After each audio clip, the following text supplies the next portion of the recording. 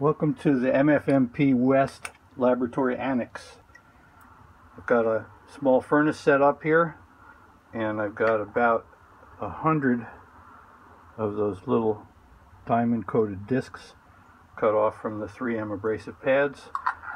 I'm going to be baking these in the oven for a week or more at 200C. I'm going to use this nice little stainless steel vessel you can see in the background there it was meant originally to hold salt but it's a nice stainless steel with a top on it. So there's a whole bunch of discs in there and I've preheated the oven. Just gonna drop this baby in and let it sit for a week or more.